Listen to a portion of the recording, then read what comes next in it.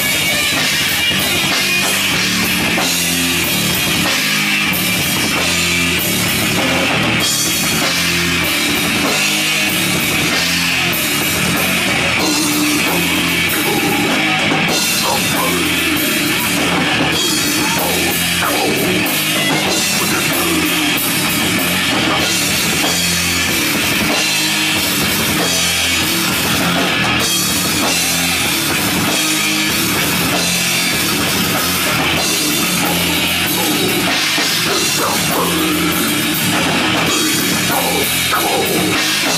come on,